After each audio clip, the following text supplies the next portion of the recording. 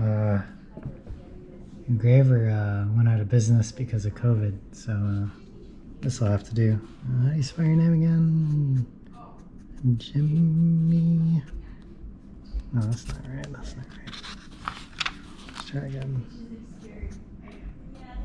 Jimmy Team. There we go.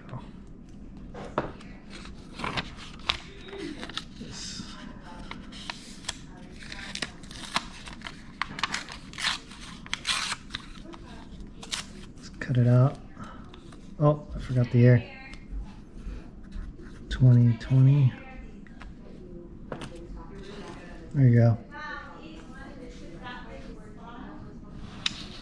Congratulations.